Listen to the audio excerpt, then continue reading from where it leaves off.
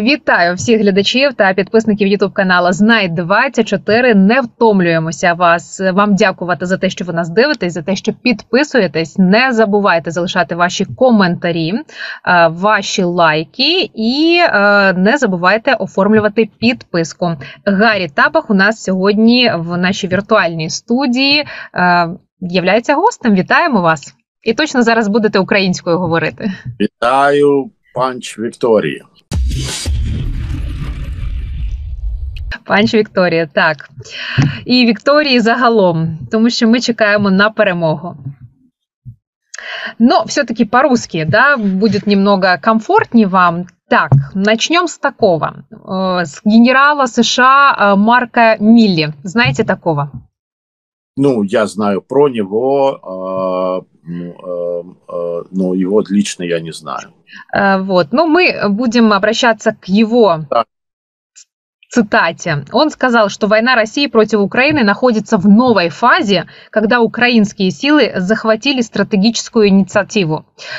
Считаете ли вы, что действительно сейчас война в новой фазе и стратегическая инициатива по-прежнему у Украины? Потому что есть ряд экспертов, которые пока ну, не видят, чему радоваться.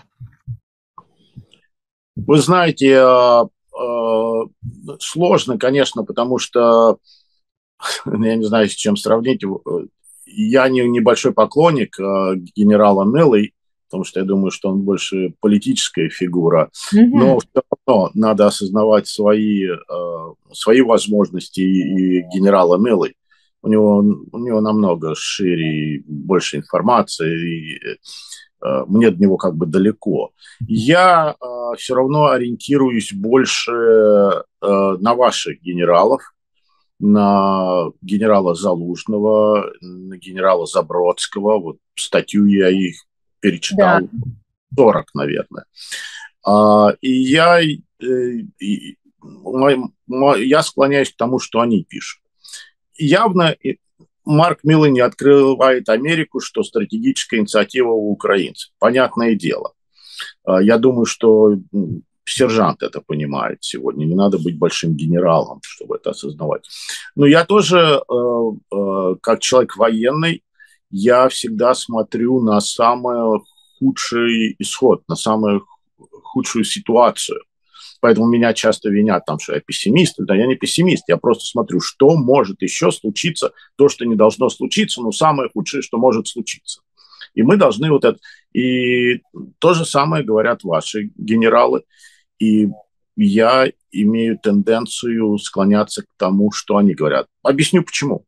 Объясню почему. Ни, никакого там лояльности нет к, к стране или еще к чему-то. Абсолютно только вот профессионализм, как хирургу, допустим. Потому что генерал Милый, а можно ругаться на в эфире? Можно. Да, просрал Афганистан. Окей, да? принимается. А, а генерал Залужный разбил армию которая в сотни раз сильнее его и больше его. Причем он это сделал с минимальными потерями, он это сделал хитро, умно и быстро. Быстро не в том смысле, что быстро, а быстро ударил по ним. Удар сам был, хлопок был сильный, который они не ожидали. А то, что у него терпение и ожидание этого момента есть, это тоже... Поэтому генерал Милый, в моем понятии, хоть он и мой генерал, э, он политической фигуры, он делает вещи из-за политики. А генерал Залужный и его окружение – это грамотные воины, которые воюют за свою страну. Поэтому я имею тенденцию прислушиваться больше к ним. Ну и по, по поведению боя я вижу, что эти ребята воюют, ну не ребята, генералы, а этот генерал все время меняет какую-то позицию. То он говорит, что все равно надо заканчивать переговорами, то он говорит, что теперь mm-hmm взяли, ну, слава, спасибо, генерал Милой, а то мы не понимали никто, что стратегически Украина взяла верх, инициатива в их руках. Но, э, но надо прислушиваться генерала Залужного и Бродского, и Забродского, что э, рано радоваться, рано. Это, знаете, это э, еще, наверное, курс, первый курс в военном училище, что быстрое наступление или контрнаступление – быстрая, когда ты прорываешься вперед. Это может быть ловушка, потому что с левого фланга, с правого фланга mm-hmm. и с фронта у тебя враги. И если они это сделали специально, то они тебя возьмут в окружение. Поэтому это тоже такие, это очень, это как хирургическая операция. И ты никогда не знаешь, где кровоточить начнет, где еще что-то начнет. Это все рискованно. Но, и тем не менее, рискнули. Это то, что говорят ваши военачальники, и я поддерживаю их в этом. Так, хорошо. Так, двигаемся дальше. Мы сегодня по цитатам пройдемся э, всех известных нам, э, хотела сказать, жителей Соединенных Штатов Америки, но не только, не только их. А, посол США в Украине Бриджит Бринг. Как дипломат с 25-летним опытом я научилась не спекулировать по поводу будущего. Но я не думаю, что это будет быстрая война. Так она ответила на вопрос о том, реально ли, по мнению ее, закончить войну в 2000 2023 году. Перед Ваш... Да, молодец. Да, вот ваше мнение, а, реально ли закончить эту войну в 2023 году? Потому что, опять же, есть два лагеря, да, два пула э, экспертов, и военных, и политических. Одни говорят, что реально, другие говорят, что нет. И те, и те, в принципе, предоставляют хорошие факты. Но вот хочется все-таки понимать и ваше да. мнение слышать. Другие правы. И это как раз зависит не от украинцев. Если бы это зависело от украинцев, этой войны бы вообще не было. Да? А, или если бы она была, то она закончилась чрезвычайно быстро. А это зависит, к сожалению, от госпожи Брынка и ее партии. Угу. Если украинцам дадут оружие, которое необходимо для победы, наступательное оружие, тяжелое оружие, мы с вами об этом говорили много раз, то эта война закончится очень быстро. Если в Украине будет 100 хаймарсов, если в Украине будет тысяча танков и три тысячи орудий и э, штурмовиков с, пол, с полсотни даже, эта война закончится чрезвычайно быстро. Но этого нету, да, этого нету. И если этого нету, то это начинается вот то, что они говорят, война на истощение. Но да. война на истощение у России тут привилегия. Они намного жирнее вас у них много крови, у них много тел. Они могут истощаться еще долго-долго-долго. А вы нет. У вас нет такого, такой роскоши. У нас нет такого у ресурса. Да. Ваши, ваши И мы не хотим, мы не хотим терять наших э, бойцов, Но не только бойцов, и граждан. Не знаем, сколько вы их теряете, да, но в соцсетях сегодня, вот я уже не могу даже открывать соцсети, там Facebook, потому что портреты, портреты, портреты, портреты, портреты погибших лучших из лучших. Красивые и девчонки, и мальчишки. Будущее Украины, цвет Украины гибнет. А мы сидим, смотрим. Э, о, в Ерпене, в, Ерпене, в, в Изюме, оказывается, были изнасилования, пытки и расстрелы, и терроризм, и так далее. А что вы ожидали, если э, у них сходит это все с рук? Что подождите, что еще в Мариуполе будет, когда вскроется. И если это им сходит с рук Ерпень, сходит с рук Буча, сходит, с рук убийство военнопленных, сходит с рук бомбежки театра, жилых комплексов, все сходит с рук, только они и продолжают так себя вести. А мы сидим, смотрим и возмущаемся, а уже не так уж сильно и возмущаемся, уже привыкли. Да, уже такое мне напоминает войну Тутси с э, Хутус, когда они там мачетями зарубили миллион человек. Ну, mm-hmm. это где-то в Африке, это какие-то тутси, причем, ну, это в Украине, да. Ну, подождем еще. Он же, у него же ядерное оружие, он же нас запугивает, но он тогда нас все время так будет держать. Поэтому сколько эта война будет длиться, к сожалению, зависит не то, что от американцев, а напрямую от сегодняшней американской администрации, которая должна была дать ленд-лиз, то есть наступательное оружие, еще в мае Прошло уже почти 4 месяца. Ноль. Ноль. Дают только вот сейчас 4 гаубицы пообещали дать еще. Mm-hmm. Марс дадут. Беря в, в, в учет, что это военная техника, она ломает. Хаймарс дают, потому что я из последнего нет, видела нет. только боеприпасы к Хаймарсам. Гаубицы и боеприпасы. Но надо учитывать, что э, и Хаймарсы ломаются, это военная техника. И э, у них не такая долгая жизнь и гаубицы, и ломаются, и их уничтожают. Представляете себе, русские тоже по вам стреляют, и иногда попадают. Поэтому я это тоже... Да, я знаю, что это такое. Тоже и вы знаете, что это, это такое. Эти, это оружие, оно не вечное. Вот только идет замена. Замена боеприпасов, замена того, чего поломался. Пока что нет. Все ваши журналисты, все ваши эксперты кричат, 1 октября пойдет ленд-лиз. С чего они это взяли, я понятия не имею. И никто не, никто не задает вопрос, откуда вы это взяли. Это первый раз сказал э, швец, майор. Mm-hmm. Знаем таких, да. И с этих пор все решили, да, вот потому что вот бюджетный год. Ленд-лиз к бюджету никакого отношения не имеет. Никакого. Наоборот, ленд-лиз создан, что бюджета нет. Он не привязан ни к какому бюджету.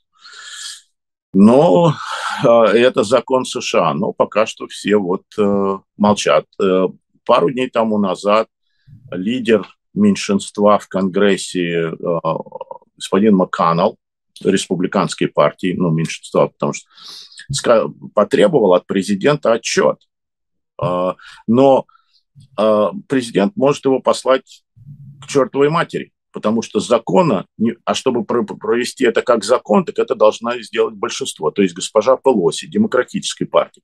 И это идут вот такие игры политические. Поэтому, когда миру надоест, и они больше не смогут смотреть, как уничтожается нация, как убивают детей и женщин, и потребуют от своего правительства, как в Европе, так и в Соединенных Штатах Америки, принять участие в этом, то тогда война будет долгая. Как только мы включимся, война будет короткая. Всі головні події України в твоєму смартфоні. Додаток MyUA. Завантажуй зараз. Угу. А, вот интересно, по, по включимся. Есть такой генерал-лейтенант в отставке Келлог, если я правильно произношу э, фамилию, Келлог. А, он заявил, что США уже является стороной конфликта а, в Украине а, потому что Вашингтон поставляет Киеву большую часть военной помощи, э, гуманитарки, и что вот он уже, эм, что США являются стороной конфликта. Вы так думаете или нет? Понимаете, я согласен с этим, но мы как-то являемся... Понимаете, я как вам скажу, вот... Э, ну, это, это очень сложная, да, сложный вопрос и тонкая грань. Говорят, я наполовину еврей. Ты не можешь быть наполовину. Это или еврей, или не еврей. Ты или хри... Я наполовину христианин. Или я наполовину обрезанный. Или я на... На... наполовину женщина. А, и ты или это, или то. Ты не можешь быть э, немножко, как у вас говорят, на полшишечки там, или еще что-то, такие есть выражения. Но э, мы, конечно же, участвуем в этой войне. Мы платим, во-первых, огромные деньги за это. И мы даем наше одно из самых э, смертно несущих оружий для этой войны. То, конечно же, мы в ней участвуем. Но мы не совсем в ней участвуем. Мы участвуем и боимся. Mm-hmm. Вы знаете, как, э, э, он стеснялся, но воровал.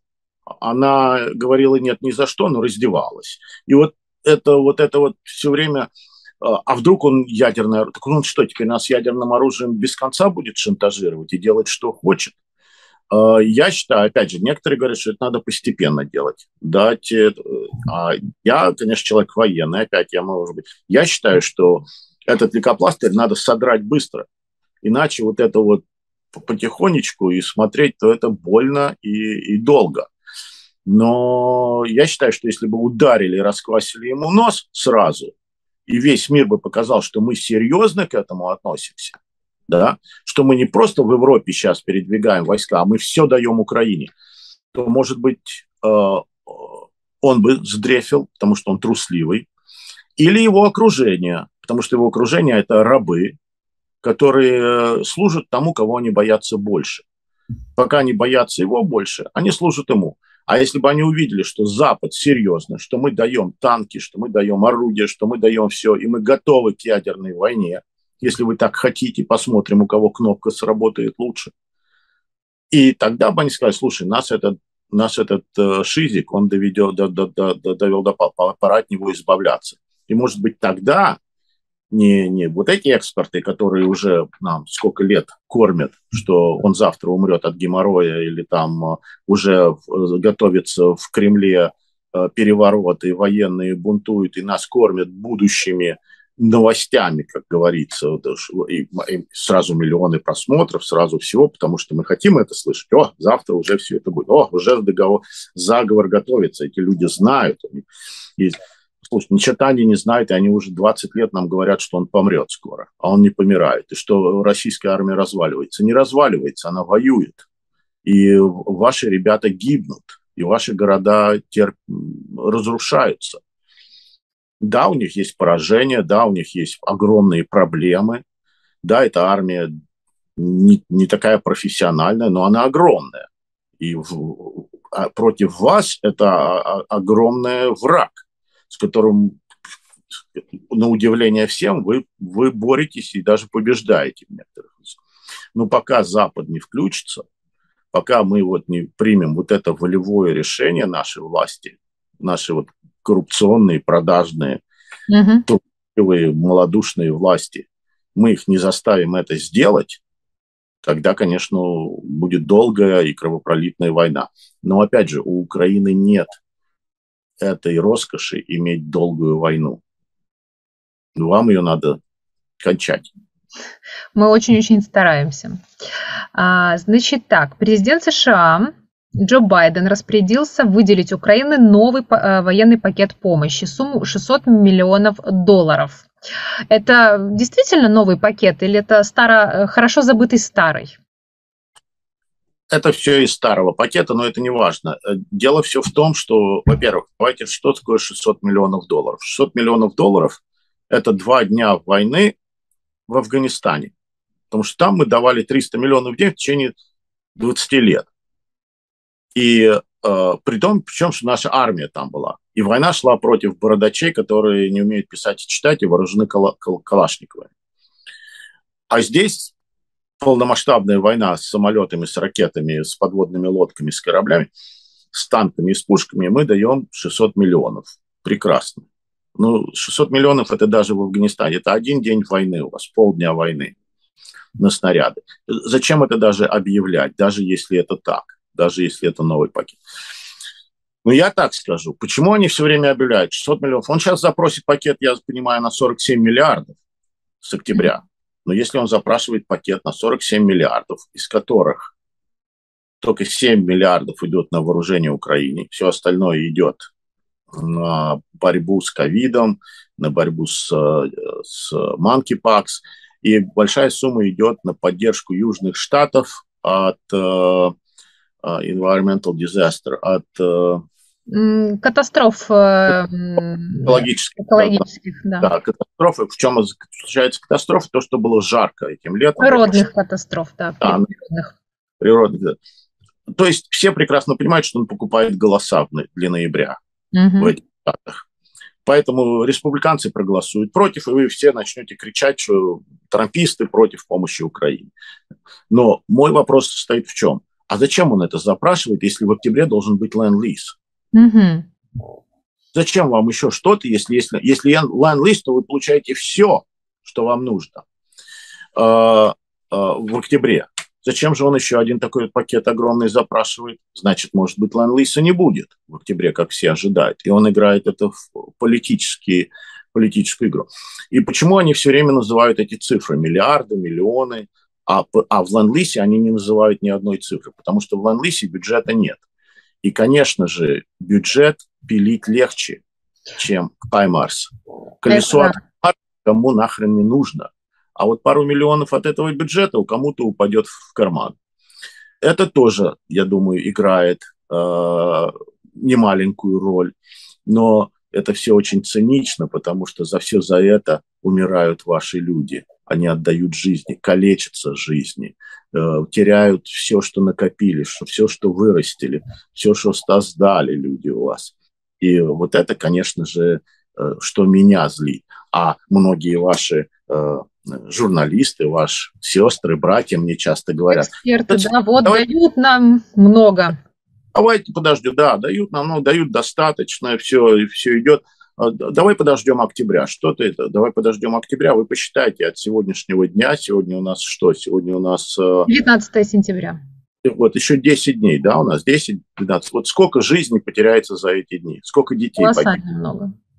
будем ждать. Вот те, которые это говорят, я хочу, чтобы они мне сначала сказали, что их сын на фронте, что их дочь на оккупированной территории ее насилуют там. Вот когда они мне скажут, что да, их сыновья и дочери на фронте воюют, и давай подождем, тогда я скажу, хорошо, давайте ждите. Тогда да. Но никто из них не имеет никого из близких на войне или на оккупированной территории, которые говорят, ну что ж, ну подождем еще. А в октябре что они придумают еще что-то? Что это готовится, что вообще-то нам уже и дают, вот 47 миллиардов дали, которые не вам их дали, а Южным Штатам их дали. Mm-hmm. Дают, достаточно дают. А американцы это тоже слышат. Они же не, не, не вникают так глубоко, и они все время мне говорят, подожди, мы же даем до хрена им, украинцам, мы же даем им до хрена. Я говорю, ну если разобраться, то нет. О, Поэтому я каждое утро встаю и благодарю Бога, что я родился солдатом, а не политиком. Так, хорошо, двигаемся дальше. Что думаете вот по э, такой условной тишине, которая сейчас э, есть в информационном пространстве? В последние недели такой переход состоялся от громких призывов к предоставлению ПВО, э, каких-то самолетов, э, такой тяжелой техники, к таким более конкретным да, переговорам между военноначальниками Украины и Соединенных Штатов Америки. С чем это может быть связано? Готовится какая-то новая операция? Они, мне, они меня не... Не отчитываются, хорошо. Меня это не, не информируют. Но я думаю, что Э, ваши власти, э, высокопоставленные, э, поняли, что они уже, ну, сколько, полгода, больше, чем полгода просят это, потому что ваш президент начал просить еще до войны, угу. когда видели, что будет война, он говорит, ну дайте мне оружие, дайте мне что? Они ему говорят, строй траншеи и думай о своих детях. Да? Было такое, да. Да, то есть сына я вам не сдам своего главные мои дети, а, а не ваши дети. И, э, э, видимо, ваши власти, думаю, что они поняли, что нужен уже какой-то другой подход, потому что вот так вот просто получить авиацию, тяжелую технику не получается. А Европа уже сказала, а мы будем делать то, что Украина, э, то, что Америка будет. Америка даст, и мы дадим. Но Америка не дает и, похоже, не очень-то и собирается давать это. Mm-hmm. Они Э, растягивают эту войну. Э, надо еще учитывать, что есть Китай. И да. Вот, э, Китаю, конечно же, это все на руку. Они выигрывают, и помните, я как-то сказал, что когда Пелоси полетела на Тайвань, я сказал, я теперь не удивлюсь, если в российских ракетах будут какие-то там запчасти с китайскими иероглифами. Я не знаю, эту информацию, конечно, надо проверить, но уже выставляются ролики вашими солдатами, Есть такое, да. то мины китайские оказались в руках россиян. Э, есть мины китайские. Поэтому... Это заявление официальных властей Соединенных Штатов Америки говорит о том, что ну, они не видят никаких признаков э, китайской, китайской, э, каких-то китайских боеприпасов, китайской техники военной да, Но... территории Украины. Но многие, многие э, ваши политики и вот э, советник э, президента выскочил Михаил Подоляк. Подоляк. Он сказал, если бы нам дали оружие, война бы закончилась в течение трех месяцев. Он недавно это объявил. Я с ним полностью согласен. Я думаю, даже быстрее, чем три месяца. Ну, смотря сколько оружия дадут. Сейчас выступает одна медсестра с фронта у вас перед, у нас в Конгрессе она выступает, медсестра. Тайра. Да, как у нее позывной Тайра. Тайра. Да. Э, она говорит, дай медсестра. Она говорит, не дайте нам ни пенициллин, ни, ни, ни гликопластырь, ни клизму. Дайте нам оружие. Она говорит, оружие нужно, у нас нет оружия на фронте. Это не я говорю, я, потому что я иногда считаю, что это не мое место, что я ездил у вас там по фронтам, и что я слышал от потому что у меня же нет полных, я был в этом, в этой бригаде, в той бригаде, там, ну.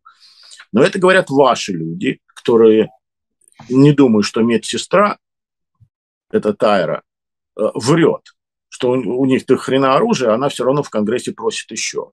Ну и, конечно же, выпускаются, опять же, это из КГБшного ртов, что у вас это разворовывается, там, что это куда-то пропадает. У меня был спор с одним тоже у вас, потому что я как раз занимался передачей оружия Польше.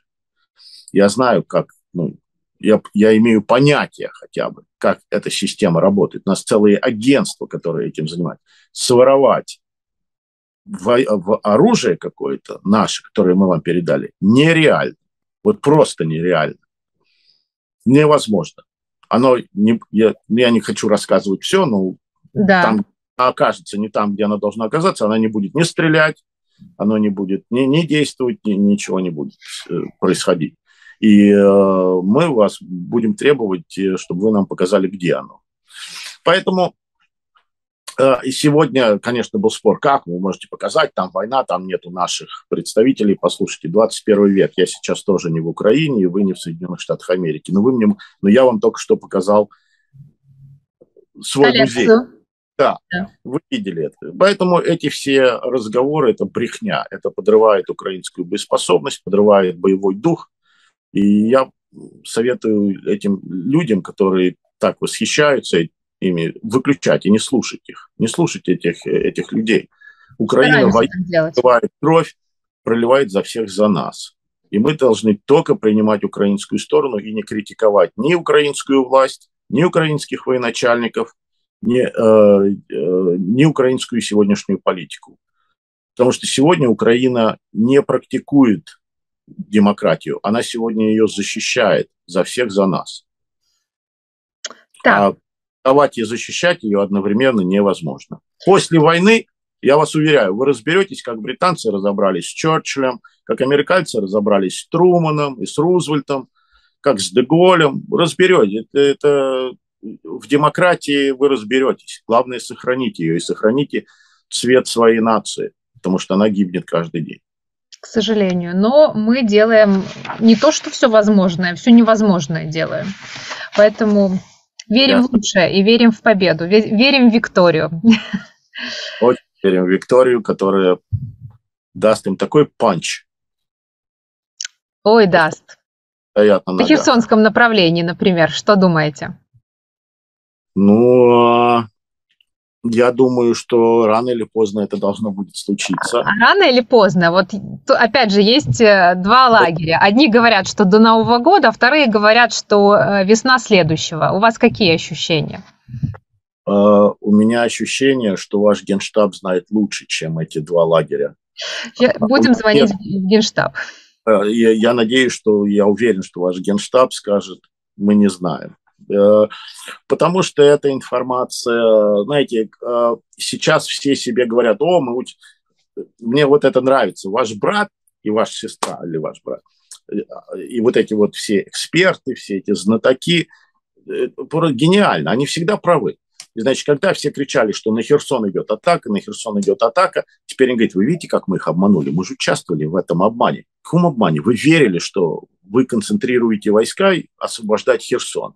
Ваш генштаб решил по-другому, что это такой обманный монет. Конечно же, вы помогли своим, своей тупостью и своим недалекостью, повторяя как, э, как э, попугай то, что было вброшено.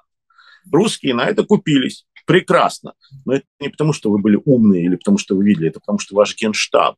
Умный. Потому, что они хитрые. Залужный хитрый. Вот он, он хитрый, он молодец, он, он настоящий военачальник. Вы немного не, от него не слышите, вы немного его не видите. Он не светится. Но явно имеет э, лидерский, командный, не то что э, качество, а талант, одаренность, можно даже сказать, одаренность, правильное слово будет. А это все. Поэтому, когда они говорят до или после Херсон будет брать, или до или после, они не знают, они не понимают. Они 50-50. Если они угадают, они скажут, видите, я же говорил.